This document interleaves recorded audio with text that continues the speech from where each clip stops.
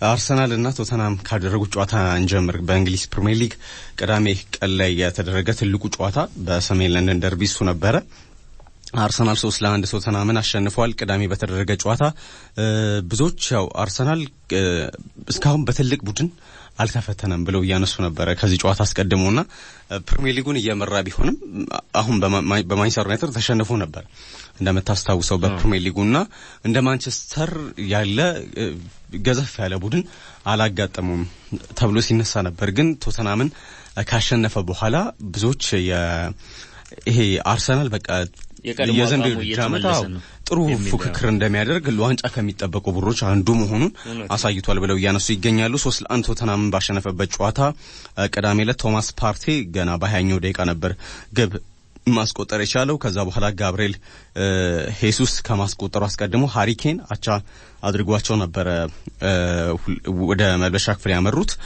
ከዛ በኋላ ጋብርኤል ሄሱስ በ49ኛው ደቂቃ አስቆጠረ። ኤመርሰን ሮያል ግን በቶተናም በኩል በ62ኛው ደቂቃ በቀይ ካርድ ወጥቷልና አርሰናል ያለፉትን ሶስት ጨዋታዎች በሜዳው ከቶተናም ጋር አድርጎ ሶስቱንም ጨዋታዎች በተከታታይ አሸንፏል። ከሜዳ ውጭ ተሸንፏል። በእርግጥ ግን በዚህ በፍላይ ኤሜሬትስ ያደረጋቸውን ጨዋታዎች ሶስቱንም ጨዋታዎች በተከታታይ አሸንፏል እና ይህን ሲያደርግ አርሰናል ከመስከረም 2013 በኋላ ለመጀመሪያ ጊዜ ይሆናል ለቡድኑ ቶተናም ደግሞ በዚህ ምክንያት 12 ጨዋታ ማሸነፍ አልቻለም። ወደ ፍላይ ኤሜሬትስ አምርቶ አራት አቻ ሲወጣ ስምንት ጨዋታዎችን ተሸንፏል። ማይክል አርቴታ በሜዳው ሶስት ተከታታይ ጨዋታዎችን በማሸነፍ ሶስተኛው አሰልጣኝ ሆኗል። በፍላይ ኤሜሬትስ ሶስት ተከታታይ ጨዋታዎችን ቶተናም በማሸነፍ ማለት ነው። ከዚህ ቀደም ጆርጅ ሞሬል እና ጄሪ ኔይል የተባሉ የቀድሞ የአርሰናል አሰልጣኞች ናቸው የመጀመሪያ ሶስት ተከታታይ ጨዋታቸውን በሜዳቸው ያሸነፉት። አርሰናል በቀጣይ ከሊቨርፑል ጋር ሲገናኝ፣ ቶተናም ከብራይተን ጋር በፕሪሚየር ሊጉ የሚገናኝ ይሆናል። አርሰናልና ሊቨርፑል በቀጣይ የሚያደርጉት ጨዋታ በጣም በጉጉት የሚጠበቅ ጨዋታ ነው። አርሰናል ሌላ ፈተና ነው እንግዲህ ከቶተናም ጨዋታ በኋላ ሌላ ትልቁ ለአርሰናል ፈተና የሚባለው ከሊቨርፑል ጋር የሚያደርገው ጨዋታ ነው። ቅዳሜ ከተደረጉ ጨዋታዎች መካከል አንዱ በርነማውስ ከብሬንትፎርድ ያደረጉ ጨዋታ ባዶ ለባዶ ተጠናቋል። ክሪስታል ፓላስ በቼልሲ ሁለት ለአንድ ተሸንፏል። ግን ለክሪስታል ፓላሶች ገና በሰባተኛው ደቂቃ በፈረንሳዊ ተጫዋች ኦድሰን ኤድዋርድ ግብ ሲመሩ ነበር። ከዛ በኋላ ነው ኦባማያንግ በሰላሳ ስምንተኛው ደቂቃ አቻ አደረገ። ከዛ ኮነር ጋላገር የቀድሞ ቡድኑ ላይ ግብ አስቆጥሮ ሁለት ለአንድ ቼልሲዎች ጨዋታውን አሸንፏል። ፉልሃም ከኒውካስል ያደረጉት ጨዋታ አራት ለአንድ በኒውካስል አሸናፊነት ተጠናቋል። በዚህ ጨዋታ በፉልሃም በኩል ቻላቧ በቀይ ካርድ ወጥቷል። ለኒውካስል ካሉም ዊልሰን በ11ኛው አልሚሮን በ33ኛውና በ57ኛው ሲያን ሎንግስታፍ በ43ኛው ደቂቃ ግብ አስቆጥረዋል። ፉልሃም የመጀመሪያ ሽንፈቱ ነው በሜዳው በዚህ የውድድር ዓመት። ኒውካስል እንደዚሁ በኤዲ ሃው ስር ሆኖ በሰፊ የጎል ልዩነት ያሸነፈበት የመጀመሪያ ጨዋታ ሆኗል። አራት ለአንድ ጨዋታው ከተጠናቀቀ በኋላ እንደዚሁ ሊቨርፑል ከብራይተን ያደረጉት ጨዋታ ሶስት ለሶስት ተጠናቋል። በዚህ ጨዋታ ብራይተኖች መምራት ችለው ነበር በሁለት ጎል ልዩነት ጭምር። ግን በዚህ ጨዋታ ሊያንድሮ ትሮሳርድ ሀትሪክ በመስራት ሶስቱንም ለብራይተን ግብ ያስቆጠረ ተጫዋች ነው። ይህ ቤልጅየማዊ ተጫዋች በአራተኛው በአስራ ሰባተኛውና በሰማኒያ ሶስተኛው ደቂቃ ግብ አስቆጥሯል። ለሊቨርፑል ሮቤርቶ ፊርሚኖ በሰላሳ ሶስተኛውና ሀምሳ አራተኛው ሲያስቆጥር አዳም ዌብስተር ራሱ ላይ በማስቆጠሩ ጨዋታው ሶስት አቻ በሆነ ውጤት ተጠናቋል። ሮቤርቶ ዴዘርቢ አዲሱ የብራይተን አሰልጣኝ ናቸው። እንግዲህ ከብራይተን ግራሃም ፖተር ወደ ቼልሲ ካመሩ በኋላ እና ትሮሳርድ በጨዋታው ኮከብ ነበር የሚል አስተያየት ሰጥቷል። በብሔራዊ ቡድን እያለ መልእክት ልኬለት ነበር። በብሔራዊ ቡድን ጨዋታዎቹ ወቅት ማለት ነው። ግቦችን ማስቆጠር ይችላል፣ ከዛሬውም በላይ ማድረግ የሚችል ተጫዋች ነው የሚል አስተያየት ሰጥተውታል እና ግቦችን ማስቆጠር ይችላል የሚል text አድርገውለት ነበርና አሁን በዚህ ውጤት ብዙ ደስተኛ አይደለሁም ብሏል። ያው ቡድኑ ሁለት ሁለት ለባዶ እስከ መምራት ደርሶ ነው አቻ የሆነውና ብዙ ደስተኛ አይደለሁም፣ ከዚህ በላይ ማድረግ እንችል ነበር በዚህ ጨዋታ የሚል አስተያየት ሮቤርቶ ዴዘርቢ የቀድሞው የሳሱኦሎና የዩክሬኑ ክለብ ሻክታር ዶኔትስክ አሰልጣኝ ሰጥተዋል። ሳውዛምተን ከኤቨርተን ያደረጉት ጨዋታ በኤቨርተን ሁለት ለአንድ አሸናፊነት ሲጠናቀቅ ሳውዛምተን በጨዋታው የመምራት እድል ነበረው። አሪቦ በ49ኛው ደቂቃ ባስቆጠረው ግብ ሲመሩ ነበር። ነገር ግን ኮነር ኳዲና ማክኔል በ52ኛውና 54ኛው ደቂቃ ባስቆጠሩት ግቦች ኤቨርተን ሁለት ለአንድ ጨዋታውን አሸንፏል። ዌስትሃም ከወልቭስ ያደረጉት ጨዋታ በዌስትሃም ሁለት ለባዶ አሸናፊነት ተጠናቋል። በዚህ ጨዋታ ለዌስትሃም ስካማካና ዣረባውን ግቦቹን አስቆጥሯል። ትናንትና ሲጠበቅ የነበረው የማንቹኒያን ደርቢ ነበር። ያው በኦልትራፎርድ የተደረገው ጨዋታ ነበረ። 188ኛው የማንቸስተር ደርቢ ነው። በዚህ ጨዋታ ታዲያ ዘጠኝ ግቦች ተቆጥረውበታል። በትላንቱ ጨዋታ ግማሽ ደርዘኑን ግብ ደግሞ ማንቸስተር ሲቲ አስቆጥሯል። ስድስት ለሶስት ነው የተጠናቀቀው ጨዋታው። ፎደን ሀትሪክ መስራት ችሏል በትላንትናው ጨዋታ። እንደዚሁም ኤርሊንግ ብራውት ሃላንድ ሌላኛው ሀትሪክ የሰራ ተጫዋች ነው። ሁለት ተጫዋቾች በሰሩት ሀትሪክ ማንቸስተር ሲቲ ስድስት ለሶስት ማንቸስተር ዩናይትድን አሸንፏል። ቀይ ሰይጣኖቹ ከመሸነፍ ያልዳኑባቸውን ግቦች አንቶኒ ሳንቶስ በሀምሳ ስድስተኛው ደቂቃ ጥሩ የሚባል ግብ ነው። እንደዚሁም አንቶኒ ማርሻል በሰማኒያ አራተኛውና ዘጠናው ደቂቃ ተጠናቆ በአንደኛው ደቂቃ ዘጠና አንድ ላይ አንቶኒ ማርሻል አስቆጥሯል ሶስቱን ግቦች። ነገር ግን ማንቸስተር ሲቲ በመጀመሪያው አጋማሽ ራሱ አራት ለባዶ እየመራ ነበር የመጀመሪያው አጋማሽ የተጠናቀቀውና በማንቸስተር ሲቲ በኩል ጨዋታውንም በጣም በፍጹም የበላይነት ያስኬዱበት ጨዋታ ነበረ እና ሃላንድ ደግሞ በጣም የተለየ ተጫዋች መሆኑን እያሳየ ነው የሚገኘው። ትናንትናም ሀትሪክ መስራት ችሏል። ከዚህ በፊትም የጎል ማሽን ይሉታል። አዎ በሬድ ቡል ሳልዝበርግም በዶርትሙንድም እያለ ለጎል የተፈጠረ አይነት ተጫዋች ነው። tactical ወይንም ዘጠኝ ቁጥር ቦታ ላይ ከሰጠኸው ጎል ምንም የማይምር አይነት ተጫዋች ነው። ነገር ግን የ technical ability ው ፍጥነትም አቅምንም ጨምሮ ደግሞ ጉልበትም ገዘፍ ያለ አጥቂ እንደሆነ ይታወቃል እና technical ability ው እንደ ሌሎች አጥቂዎች አይደለም ቢሉትም ነገር ግን ለጎል የተፈጠረ ተጫዋች መሆኑን እያሳየ ነው የሚገኘው። በሶስት ተከታታይ ጨዋታዎች በኢቲሃድ ባደረጋቸው ጨዋታዎች ሀትሪክ መስራት ችሏል እና እስካሁን በዘጠኝ ጨዋታ ሶስት ሀትሪክ የሰራ በፕሪሚየር ሊጉ ፈጣኑን ሀትሪክ ያደረገ በማድረግ ሪከርዱን ይዟል ሃላንድ እና ከዚህ ቀደም ማይክል ኦዌን ሶስት ሀትሪኮችን ለመስራት አርባ ስምንት ጨዋታዎች ወስዶበታል። ከሱ በታች ያለው ሩድ ቫን ኒስተልሮይ ነው። እሱ ሶስት ሀትሪኮችን ለመስራት ወደ 59 የሚጠጉ ጨዋታዎች ወስደውበታል። ሃላንድ ግን በዘጠኝ ጨዋታ ነው ሶስት ሀትሪኮችን መስራት የቻለውና ምን አይነት በጣም አስገራሚ ጉዞ እያደረገ መሆኑን የሚያሳይ ነውና በትላንትናው ጨዋታ ፍጹም ማንቸስተር ሲቲ የበላይነት የነበረበት ጨዋታ ነበረ ማድረግ የቻለው ከትናንትናው ጨዋታ በኋላ ግን እንደዚሁ ፔፕ ጋርዲዮላ በአሰልጣኝ ኤሪክ ቴንሃግም አስተያየት ሰጥተው ነበር ከትላንትናው ጨዋታ በኋላ። አንዱ ኤሪክ ቴንሃግ ያነሱት ነገር ከአራት ሳምንታት በፊት የነበረን ቡድን በጣም ፍጹም ለጎል የተራበ ሜዳ ላይ በጣም የቡድን መንፈስ የነበረው አይነት ቡድን ነበረ። አርሰናልን እንደዚሁም ሊቨርፑል የነበራቸውን ድል እናስታውሳለን።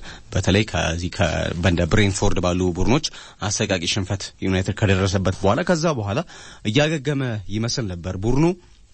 ነገር ግን አሰቃቂ የሚባል ሽንፈት ትናንትና በማንቹኒያን ደርቢ አስተናግዷል እና በጣም የተለየ የወረደ ቡድን ያየሁት እና በጣም surprised ሆኛለሁ የሚል አስተያየት ሰጥተው ነበር ትናንትና አሰልጣኝ ኤሪክ ቴንሃግና ይሄ እምነት ማጣት የለብንም እምነት ማምጣት አለብን የሚል አስተያየት ሰጥቷልና አሁንም ግን ያው ከፍተኛ ተቃውሞች እየተሰሙ ይገኛሉ። ኤሪክ ቴንሃግ ላይ ያው አሰልጣኞች በመጀመሪያ ጨዋታቸው ላይ ወይም በመጀመሪያ ውድድር ዘመናቸው ላይ እንደዚህ አይነት ሽንፈት ሲገጥማቸው በጣም ከፍተኛ ጫና ያለ ቡድን እንደሆነም ይታወቃል። ማንቸስተር ዩናይትድ ቀድሞም በዚህ በባለቤቶቹ ላይ የነበረው ጫና በቀድሞ አሰልጣኞች ላይ የነበረውም ጫና ይታወቃል እና እንደዚህ አይነት ጫናዎች ኤሪክ ቴንሃግን frustrate እንዳያደርጉት በጣም ያሰጋል።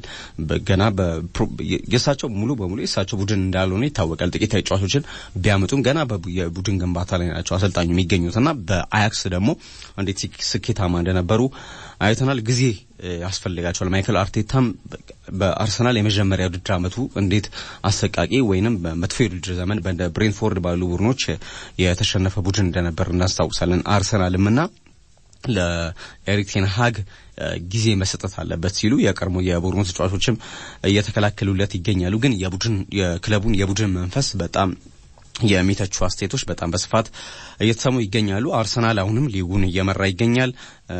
ማንቸስተር ሲቲ በአንድ ነጥብ ዝቅ ብሎ እየተከተለው ይገኛልና በቀጣይ ሳምንት አርሰናል ጨዋታውን ከሊቨርፑል ጋር እንደሚያደርግ ይታወቃልና ይጠበቃሉ እንደዚህ ያሉ ጨዋታዎች።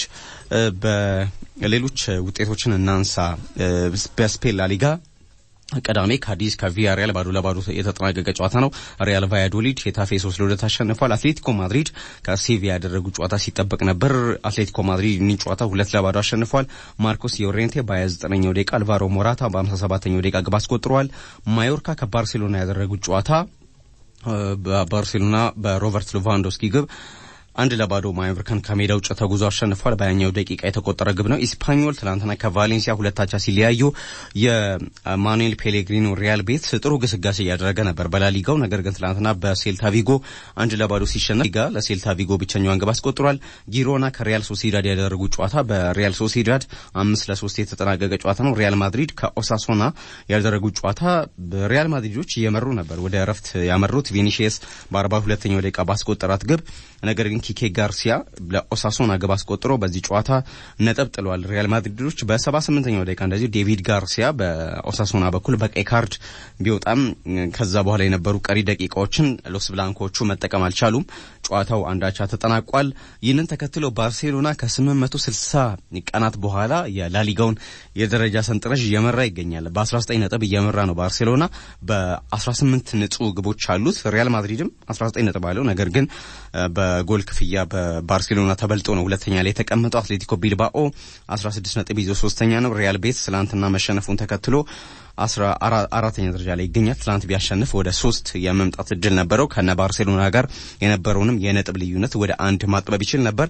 አትሌቲኮ ማድሪድ በ13 ነጥብ አለው። እንደዚሁም ትላንትና ከሪያል ማድሪድ ጋር ነጥብ የተጋራው ኦሳሶና 13 ነጥብ ይዞ በላሊጋ የደረጃ ሰንጠረዥ ላይ ይገኛሉ። የጣሊያን ሴሪኤ የደረጃ ሰንጠረዥን እንመልከት። በጣሊያን ሴሪኤ ትላንትና ቅዳሜ ከተደረጉ ጨዋታዎች ስንጀምር ናፖሊ ሶስት ለአንድ ቶሪኖን ቅዳሜ አሸንፈዋል። ኢንተር ሚላን ከሮማ ሲጠበቅ የነበረ ጨዋታ ነበር። ኢንተር ሚላን በዚህ ጨዋታ ቀድሞ መምራት ችሎ ነበረ። በቅዳሜው ጨዋታ ዲማርኮ በሰላሳኛው ደቂቃ አስቆጥሮ ከዛ በኋላ ፓውሎ ዲባላ እንደዚሁም ክሪስ ስሞሊንግ ሰላሳ ዘጠነኛውና ሰባ አምስተኛው ደቂቃ ላይ አስቆጥረው ሁለት ለአንድ ሮማ አሸንፏል። የጆዜው ቡድን እንደዚሁ ኤሲ ሚላን ኢምፖሊን ሶስት ለአንድ ያሸነፈበት ጨዋታ ነው። አንቴ ሬቢች በዚህ ጨዋታ ላይ ለኤሲ ሚላን በሰባ ዘጠነኛው ደቂቃ ላይ ያስቆጠረ ከዛ በኋላ አቻ መሆን ችለው ነበር ኢምፖሊዎች በባጅራሚ ግብ ዘጠና ሁለተኛው ደቂቃ ላይ ባስቆጠረው ግብ ከዛ በኋላ ሴኔጋላዊ ተጫዋች ባሎ ቱሬ ዘጠና አራተኛው ላይ ያስቆጠረ ራፋ ሊያኦ 97ኛው ደቂቃ ላይ ባስቆጠረው ግብ ጨዋታው 3 ለአንድ በኤሲ ሚላን አሸናፊነት ተጠናቋል። ትናንትና በተደረጉ ጨዋታዎች ደግሞ ላዚዮ ስፔዚያን አራት ለባዶ አሸንፏል። ሳሶሎ ሳላሪንታናን አምስት ለባዶ ሲያሸንፍ አታላንታ በአዴሞላ ሉክማን ግብ ፊዮሬንቲናን አንድ ለባዶ አሸንፏል። ጁቬንቱስ እንደዚሁ ቦሎኛን ሶስት ለባዶ አሸንፏል። ኮስቲች በ24ኛው ቭላሆቪች በ59ኛው አርካዲየስ ሚሊክ በ62ኛው ደቂቃ ግቦችን አስቆጥረዋል። ናፖሊ ሴሪአውን እየመራ ይገኛል። ሀያ ነጥብ ይዞ በአስራ ሁለት የግብ ክፍያ አታላንታ እኩል ነጥብ ቢኖረውም ነገር ግን በግብ ክፍያ ተበልጦ ሁለተኛ ነው። ላዚዮ እና ኤሲ ሚላን አስራ ሰባት አስራ ሰባት ይዘው ሶስተኛና አራተኛ ናቸው። በጎል ክፍያ ተበላልጠው ነው የሚገኙት። ጁቬንቱስ ትናንትና አሸንፏል። አስራ ሶስት ነጥብ ይዞ ግን ደረጃ አሁንም ሰባተኛ ደረጃ ላይ ይገኛል። በጀርመን ቡንደስሊጋ ዶርትሙንድ በኮሎኝ ሶስት ለሁለት የተረታበት ጨዋታ ነበር በቡንደስሊጋው። እንደዚሁ ግን ባየርን ሙኒክ ወደ ድል ተመልሷል። ሌቨርኩሰንን አርብ ዕለት በተደረገው ጨዋታ ማሸነፉ ይታወሳል። ግን አሁንም ቢሆን ኡኒየን በርሊን የቡንደስሊጋው መሪ ሆኖ እንደቀጠለ ይገኛል። ወደ አጫጭር ጉዳዮች እናምራ። ወልቭስ ፖርቹጋላዊን አሰልጣኝ ብሩኖ ላዥን ከኃላፊነት አንስቷል። ቡድኑ ይህንን የወሰነው በዌስትሃም ከተረታ በኋላ ነው።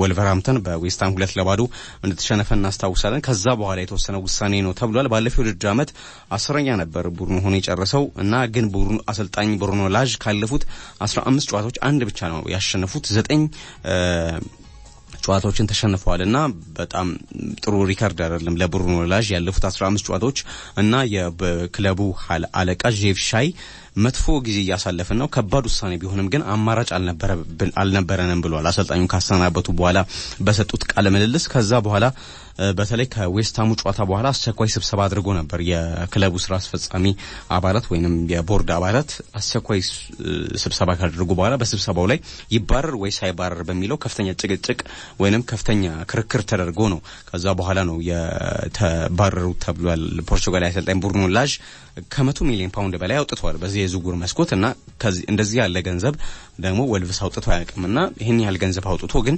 በዚህ በዚህ እንደዚህ የውድድር ዓመቱ እንደዚህ መጥፎ መሆን የለበትም በሚል ፖርቹጋልን አሰልጣኝ አሰናብቷል።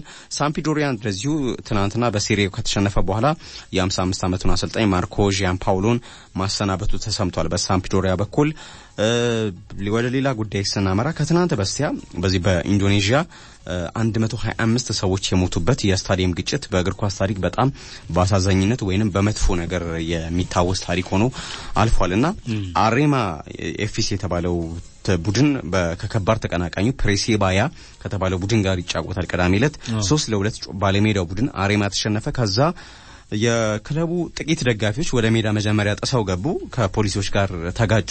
ከዛ ከፖሊስ ደግሞ የአስለቃሽ ጭስ መጠቀም ይጀምራል። በዚህ የተበሳጩ በርካታ ደጋፊዎች ወደ ስቴዲየም እየጣሱ ይገባሉ። ፖሊስም ከፍተኛ ጭስ እየተጠቀመ ይመጣል እና በፊፋ ሕግ ደግሞ በስታዲየሞች ስቲዋርዶችም ሆኑ ፖሊሶች አስለቃሽ ጭስ እንዳይጠቀሙ ምንም ቢሆን ይከለክላል የፊፋ ሕግና ያንን ፖሊሶች ጥሰዋል እና በዚህ የተነሳ ከፖሊሶች ጋር በጣም ከፍተኛ ግጭት ነበረ። እንደውም ከሞቱት 125 ሰዎች መካከል ሁለት ፖሊሶችም ለህልፈት መዳረጋቸውን ከዛ የወጡ መረጃዎች ያሳያሉና በጣም አሰቃቂ አደጋ ነበረ። የሀገሪቱ ፕሬዚዳንት ጆኮ ዊዶዶ ምርመራ እስኪደረግ ድረስ በኢንዶኔዥያ ሊግ የሚደረጉ ጨዋታዎች በሙሉ እንዲቆሙ ትዕዛዝ አስተላልፈዋል። ከጨዋታው አስቀድመው የፔርሴባያ ደጋፊዎች ደግሞ ጥቂት ጥቂት እንደውም እነሱ ቢገቡ ኖሮ ይሄ ግጭቱ በጣም ይከፋ ነበር የሚሉ መረጃዎች ወጥቷል እና ስጋት አለ በሚል ትኬት አልገዙም ነበር የባላንጣው የአሸናፊ ቡድን ደጋፊዎች እና የደህንነት ሚኒስትሩ ደግሞ 38 ሺህ የመያዝ አቅም ባለው ስታዲየም 42 ሺህ ትኬቶች ተሽጠዋል እና ከመጠን በላይ ነው ስታዲየሙ የያዘው እና አሁን አስለቃጭ ሲለቀቅ በፖሊሶች ይህም ለመውጣት ወይንም ለማምለጥ በሚደረግ ግርግርና መረጋገጥም የሞቱ ሰዎች በጣም በርካታ ናቸው ቅድም እየተመለከትኩ ነበር። ወደ 176 አካባቢ ደርሷል የአካባቢው የኢንዶኔዥያ ባለስልጣናት ወደ 174 ነው ይላሉ። ነገር ግን የብዙሃን መገናኛዎች የተረጋገጠ ብሎ የሚያወጡት ቁጥር 125 ነው እና በጣም አሰቃቂ አደጋ ነበርና በተለይ የኢንዶኔዥያ እግር ኳስ ማህበር ምርመራ ጀምሪያለው ሁነቱ ላይ ግን ክስተቱ የሀገሪቱን እግር ኳስ ገጽታ ያበላሸ ነበር ብሏል። የፊፋው ፕሬዚዳንት ጂያን ኢንፋንቲኖ ይህ ለእግር ኳስ በጣም ጨለማ ወይንም ጥቁር ቀን ነው የሚል ጽሁፍ አጋርተዋል እና በጣም አሰቃቂ አደጋ ነበር ከትላንት በስቲያ በኢንዶኔዥያ የተፈጠረው። በተለይ በኢንዶኔዥያ በነገራችን ላይ እንደዚህ አይነት ግጭቶች የሟቾች ቁጥር ትላንትና ከፋ እንጂ ከዚህ በፊትም ወደ ሀያ አስር የሚጠጉ ደጋፊዎች የሚሞቱባቸው አመጾች ነበሩ። የትናንቱ ግን ያው ትልቅ እንትኑንም የፈጠረው መጨናነቅ ሲወጡ ደግሞ ያለው ይሄ ኃይለኛ አስለቃሽ ጭስ መጠቀሙ ነውና እውነት ነው። ከዚህ በፊትም ይሄ ቡድኖቻቸው አብዛኞቹ ከፖለቲካ ፓርቲዎች ጋር ግንኙነት አላቸው ይባላል እና የፖለቲካ ተጽዕኖ ስለሚኖረው ከጀርባው የፖለቲካ ተጽዕኖ ስለሚኖረው ከዛ ጋር በመገናኘት ሁሌ ክለቦቹ ወይ በተቃዋሚ ፓርቲና በገዢው ፓርቲ መካከል እንደሚደረግ አይነት ጨዋታ ስለሚቆጠር አመጾች አይጠፉም ይባላል እና በጣም የፖለቲካ ሰዎች የሚሳተፉበት አይነት ሊግ ነው ይባላል የኢንዶኔዥያ ሊግ እና አንዱም ለእንደዚህ አይነት ብጥብጥ ከዳረጉ ነገሮች አንዱ የነዚህ የፖለቲካ ሰዎች እጅ አለበት ተብሎ ይነሳል። ነገር ግን ያው ይሄ የተሸናፊው ክለብና ፔርሴባ የአሸናፊው ክለብ ደግሞ በጣም ባላንጣ እንደሆኑ ይነገራልና ከዚህ ጋር ተያይዞ የሟቾች ቁጥር በጣም ተጋኖ ወጥቷልና 125 ሰዎች በጣም ከፍተኛ ቁጥር ነው እና ከዚህ ቀደም በእግር ኳስ ታሪክ እንደሚታወሰው በ1969 ፔሩ ከአርጀንቲና ባደረጉ ጨዋታ 320 ሰዎች የሞቱበት ከፍተኛው አደጋ ተብሎ በእግር ኳስ ታሪክ ይነሳል።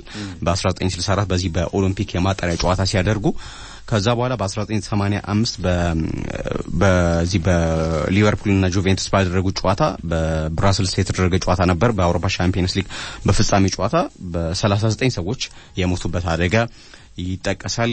ከዛው የሂልስብሮ አደጋ 97 የሊቨርፑል ደጋፊዎች የሞቱበትም ይታወሳልና ግን በቅርብ ጊዜያት እንደዚህ አይነት አደጋ አጋጥሞ አያውቅም። 125 ሰው የሞተበት አደጋ በኢንዶኔዥያ ተፈጥሯል። ጂያን ኢንፋንቲኖን ጨምሮ በርካታ የእግር ኳስ ሰዎች እያዘኑበት ያለ ክስተት ሆኗል።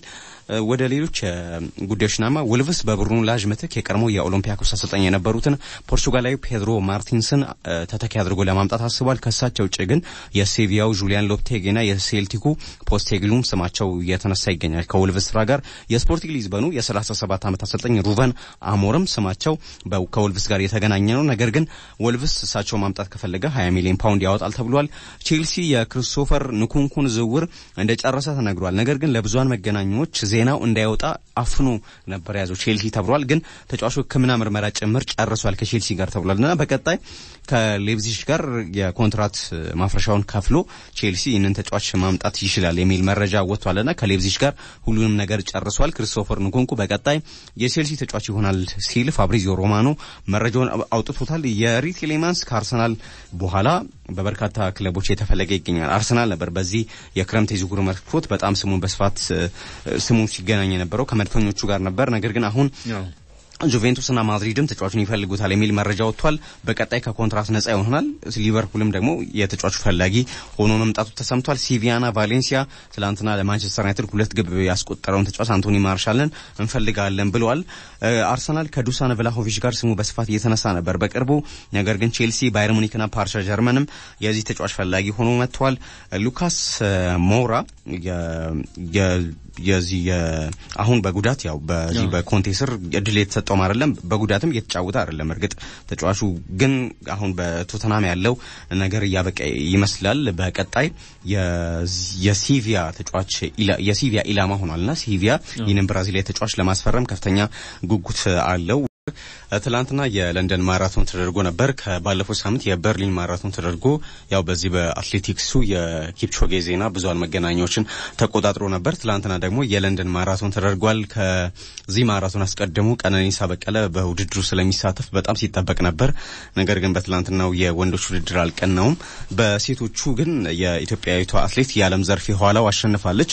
ሁለት ሰዓት ከ17 ከ26 የገባችበት ሰዓት ነው በሴቶቹ የትላንትና የለንደን ማራቶን በሌላኛው ሁለተኛ የወጣችው በዚህ ውድድር ጆይክሊን ቼፕሶኪ ስትሆን ኬንያዊቱ አትሌት ሁለት ሰዓት ከ18 ከዜሮ ሰባት ገብታለች። በሶስተኛ ደረጃ ኢትዮጵያዊቱ አትሌት መገርቱ አለሙ ሁለት ሰዓት ከ18 ከ32 የገባችበት ሰዓት ነው። ሌላኛው ኢትዮጵያ ሸቴ ስድስተኛ ስትወጣ፣ ሱቱም እንደዚሁ ስምንተኛ ደረጃን ይዘው ኢትዮጵያን አትሌቶች አጠናቋል። የዓለም ዘርፌ ሆሃለው ግን ውድድሩን አሸንፋለች። በወንዶቹ ኬንያዊ አትሌት ኪፕሮቶን ያሸንፈው ሁለት ሰዓት ከዜሮ አራት ከ39 የገባበት ሰዓት ነው። ትላንትና የለንደን ማራቶንን ልዑል ገብረስላሴ በዚህ ውድድር ሁለተኛ ወጥቷል። ኢትዮጵያ አትሌት ነው። ሁለት ሰዓት ከዜሮ አምስት ከአስራ ሁለት በመግባት አሸንፏል። በሽር አብዲ ለቤልጅየም የሚሮጡ አትሌት ሶስተኛ ሲወጣ፣ አራተኛ ክንዴ አጣነው ወጥቷል። ቀነኒሳ በቀለ በዚህ ውድድር የተጠበቀው አትሌት ነበር። ትላንትና ግን በውድድሩ አምስተኛ ደረጃን ይዞ ነው ያጠናቀቀው። ስድስተኛ፣ ሰባተኛ፣ ስምንተኛ ድረስ ያለውን ውጤት ኢትዮጵያን አትሌቶች አስመዝግበዋል። በጣሊያን በተደረገ ሌላ የግማሽ ማራቶን ታምራት ቶላ አሸንፏል። ታምራት ቶላ እንደምናስታውሰው በዚህ በኦሬገን ውድድር በዓለም አትሌቲክስ ሻምፒዮና በማራቶን ለኢትዮጵያ የወርቅ ሜዳሊያ ያመጣ አትሌት እንደነበር እናስታውሳለን። በትላንትና ውድድር እንደዚሁ አሸንፏል በግማሽ ማራቶን እና የቦታውን ሰዓትን በማሻሻል ጭምር ነው ትላንትና ታምራት ቶላ ያሸነፈው። በሴቶች ብሩክታይት ደገፋው አሸንፋለች። ሌላ በጣሊያን በተደረገ የ10 ኪሎ ሜትር ውድድር ሙክታር እድሪስ አሸንፏል። ሙክታር እንደምናስታውሰው በብዛት የምናስታውሰው በዚህ በትራክ ውድድር ነው። በአምስት ሺህ በአስር ሺህ ሜትሮች ነው ነበር ግን ባለፉት ዓመታት በዚህኛው የዓለም አትሌቲክስ ሻምፒዮና በተለይ ከጉዳት ከተመለሰ በኋላ በትራክ ውድድሮች እየቀኑ አይደለም ይህ አትሌት። ነገር ግን ትላንትና በአስር ኪሎ ሜትር ያው የጎዳና ላይ ውድድር ነበር። በዚህ ውድድር ታዲያ ሙክታር እድሪስ አሸንፎ ወደ አሸናፊነት ተመልሷል። በቀጣይ በሚደረጉ ምናልባት ለወደፊት ወደ ማራቶን ፊቱን ሊያዞር ይችላል። አሁን ከአስር ኪሎ ሜትር በኋላ የግማሽ ማራቶን ሊሮጥ ይችላል። ከዛ በኋላ የማራቶን ውድድሮች ይከተላሉ። ከትራክ ውድድሮች ወደዛ ሊሄድ ይችላል ሙክታር ኢድሪስ። ወደ እግር ኳሳዊ ጉዳዮች ስናመራ የኢትዮጵያ ፕሪሚየር ሊግ ውድድር ባለፈው አርብ በባህር ዳር እንደጀመረ እናስታውሳለን። የመጀመሪያ ሳምንት ጨዋታዎች ከአርብ ዕለት ጀምሮ ሲደረጉ ነበረ። ትላንትናም የተደረጉ ጨዋታዎች ነበሩ። ትላንት ሁለት ጨዋታ ተደርጓል። ኢትዮጵያ ቡና ከወላይታ ዲቻ ያደረጉት የቀን ሰባት ሰዓት ላይ የተደረገ ጨዋታ ነበረ።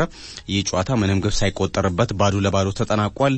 በክረምቱ የዝውውር መስኮት አሰልጣኝ ከመለወጥ አንስቶ በርካታ ተጫዋቾችን ወደ ቡድኑ የቀላቀለው ወይም በበርካታ አዳዲስ ተጫዋቾች የተሞላው ኢትዮጵያ ቡና በትላንትናው ጨዋታ የጨዋታ ብልጫ ወስዶ መጫወት ችሎ ነበር። በተለይ በመጀመሪያው 45 ደቂቃ ከዛ በተጨማሪ የፍጹም ቅጣት ምት አግኝተው ነበረ አንተነ ጉግሳ በፍጹም ቅጣት ምት ክልል ውስጥ በእጁ ነክቷል በሚል የማር አልቢትሩ ፍጹም ቅጣት ምት ሰጥተው ብሩክ በየነ በኢትዮጵያ ቡና በኩል ሳይጠቀምበት ቀርቶ ቢኒያም ገነቱ የወላይታ ዲቻው ግብ ጠባቂ አክሽፎበታል እና ከዛ በኋላም በርካታ ሙከራዎችን ኢትዮጵያ ቡናዎች ሲያደርጉ ነበር። ትናንትና በጨዋታው የወላይታ ዲቻ ተከላካዮች በሎው ብሎክ በጣም ወደ ሜዳቸው አፈግፍገው በመልሶ ማጥቃት እና በቆሙ ኳሶች የሚገኙ ኳሶችን ብቻ ለመጠቀም ጥረት ሲያደርግ ነበር የአሰልጣኝ ጸጋዬ ኪዳነ ማርያም ቡድን።